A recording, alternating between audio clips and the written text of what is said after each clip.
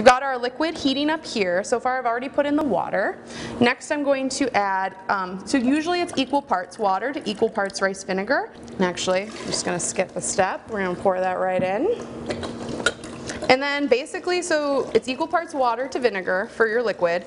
And then the biggest thing is you want to make sure you add that flavor, right? So salt, you're definitely going to need salt. Um, I recommend a good heaping teaspoon. Now, usually you've probably seen a lot of people do honey, uh, or I'm sorry, sugar, but I like to use something local and it's a little bit more of a healthy choice. So I am adding honey. Um, if you like a sweeter pickle, add more honey. If you like a saltier pickle, add more salt, kind of vice versa. That's one of my favorite things about this recipe recipe is that you can just kind of adjust to your own flavor. So it's pretty much hot here. I'm gonna say we go for it. So yeah, so I'm gonna do this part. So you're just gonna pour your hot liquid into your jar. Now we've got two here because we made one with jalapenos that we added to make it spicy. And then we've got one without it here.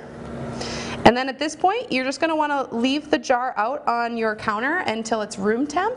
Um, and then you can put a cap on it. And like I said, these are refrigerator pickles. These aren't necessarily pantry pickles. Um, so I would keep them in your fridge. But that being said, with the salt and the vinegar, they're gonna last in your fridge for quite a few weeks. Um, I'd recommend two to four, but I've gone much longer.